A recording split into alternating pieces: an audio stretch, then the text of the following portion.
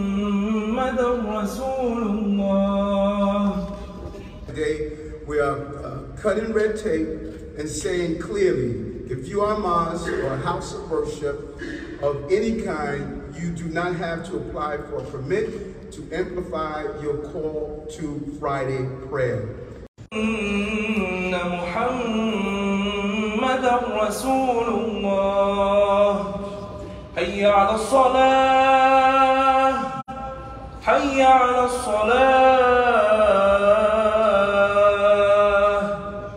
حي على الفلاح. حي على الفلاح.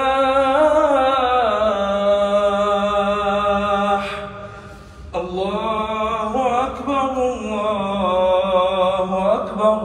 لا